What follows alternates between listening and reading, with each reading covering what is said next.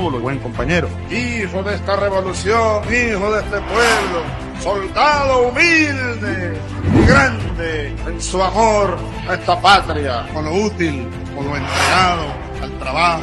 Pero no anda solo, anda con la revolución y con el pueblo. Aristóbulo un joven como líder popular, como militante de base, como luchador por la causa de los maestros, de las maestras, de los trabajadores, de las trabajadoras, por una patria distinta, por una patria nueva. Si algo admiramos siempre de Aristóbulo es que siendo un maestro de a pie, siendo un hombre humilde, Aristóbulo, un hombre con gran pensamiento político, un hombre de doctrina, un hombre de filosofía clara, de inteligencia suprema.